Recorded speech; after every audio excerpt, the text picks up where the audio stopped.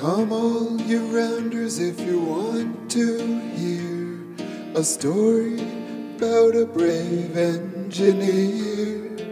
Casey Jones was the rounder's name. On a six-eight wheeler, boys, he won his fame. The caller called Casey at a half past four, kissed his wife at the station door, mounted to the cabin with his orders in his hand, and he took his farewell trip to that promised land. Casey Jones mounted to the cabin. Casey Jones with his orders in his hand. Casey Jones mounted to the cabin, and he took his farewell trip to that promised land. Put in your water and shovel in your coal. Put your head out the window, watch them drivers roll. I'll run her till she leaves the rail, cause I'm eight hours late with that western mail. He looked at his watch, and his watch was slow. He looked at the water, and the water was low. He turned to the fireman, and then he said, We're gonna reach Frisco, but we'll all be dead. Casey Jones, gonna reach Frisco. Casey Jones, but we'll all be dead. Casey Jones, gonna reach Frisco. We're gonna reach Frisco, but we'll all be dead. Casey pulled up that Reno hill.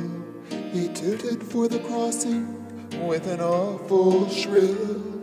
The switchman knew by the engine's moan that the man at the throttle was Casey Jones.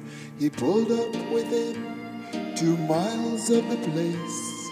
Number four stared him right in the face.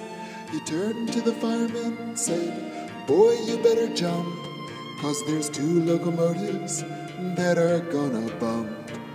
Casey Jones, two locomotives. Casey Jones, that are gonna bump. Casey Jones, two locomotives. There's two locomotives that are gonna bump.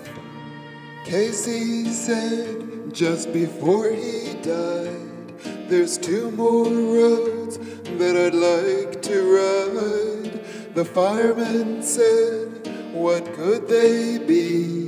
The Southern Pacific and the Santa Fe.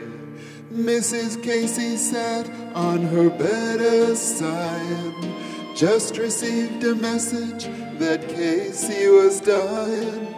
Said, Go to bed, children, and hush your crying, cause you got another papa on the Salt Lake line.